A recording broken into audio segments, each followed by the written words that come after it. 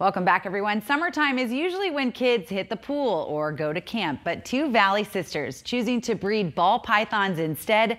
Trinity and Tatum Jones bringing the yin and yang to their brand new business. Take a look. Hi, Kratos. 10 year olds Trinity and Tatum Jones just getting started with Morph Explosion. I actually love reptiles, um, and I begged my mom and dad for snakes for so long.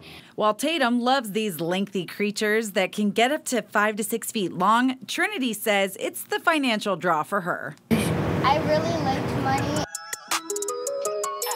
Plus, their parents helping build up their YouTube channel. And good news for those in the market to get a low maintenance forever snake. I wanted some snake babies because one of our snakes are pregnant. I was hoping uh, we could get a few clutches of eggs because um, I really love snake babies. Reptile expert Julian Hermes, part owner of Arizona Tortoise Compound, applauding the girls' initiative. Very excited for these two because they're the next generation and we need them. Julian oversees the West Valley compound, caring for numerous reptiles, saying the industry can use two more passionate people like the twins to show an interest. I think it's amazing what these girls and their parents are doing, and I can't wait to see how this goes.